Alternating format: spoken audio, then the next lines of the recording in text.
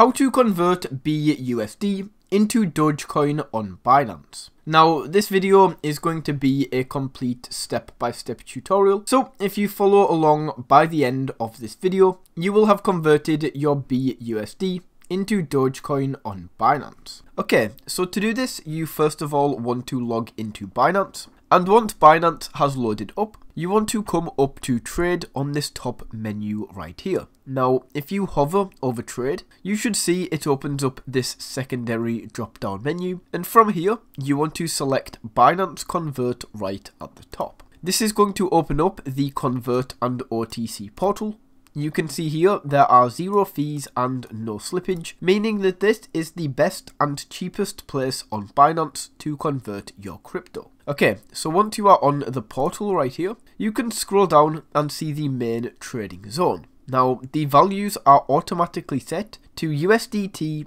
and Bitcoin, so there are a few things we need to change. First of all, come to this top bar click this drop down menu and in here you want to search for BUSD. You can go ahead and click this and this brings up the BUSD token. Once you have done this, you can come to this second drop down menu, click on this right here and in this search bar, you want to search for Doge, and this will bring up the Dogecoin token. Now, if you have followed along, this top bar should say BUSD and this bottom bar should say Doge. From here, all you need to do is enter in the amount of BUSD you would like to convert and then click preview conversion. Once you have done this, at the bottom it's going to tell you the amount of Dogecoin you are going to receive. So if I convert 100 BUSD, I'm going to receive 1100 Dogecoin. Now, if you have followed all of these steps, and you are happy with the amount of Dogecoin you are going to receive, you can go ahead and click this yellow convert button at the bottom. That will start up your transaction and that is how you can convert BUSD